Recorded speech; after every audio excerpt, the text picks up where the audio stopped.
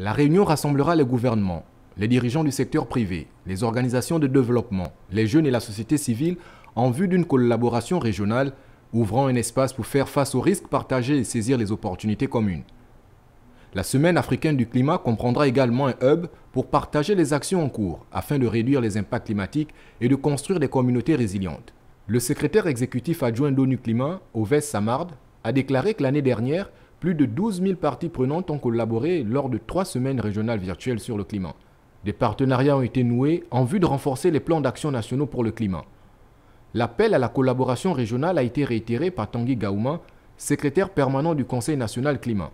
Il a déclaré que les changements climatiques restent une urgence mondiale qui touche tous les pays. C'est un grand défi collectif. Pour le Gabon, cette semaine africaine du climat est l'occasion de faire avancer la mise en œuvre du pacte de Glasgow pour le climat et de l'accord de Paris et de positionner les pays africains comme des leaders dans la réponse mondiale au changement climatique. Cette semaine africaine du climat peut émerger comme un catalyseur de l'action climatique mondiale car les gouvernements et les parties prenantes abordent ensemble les questions climatiques.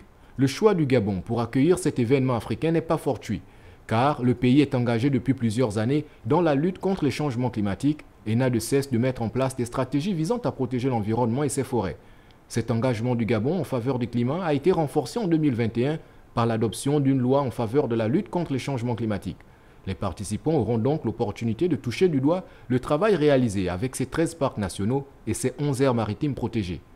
Les efforts du Gabon pour cette cause lui ont déjà valu plusieurs récompenses au niveau international. Récemment, le pays a été récompensé de 17 millions de dollars, environ 9,3 milliards de francs CFA, pour les efforts continus déployés entre 2016 et 2017 pour réduire les émissions de CO2 par la préservation de son couvert forestier. Le financement a été accordé dans le cadre de l'initiative pour les forêts d'Afrique centrale, CAFI, gérée par les Nations Unies.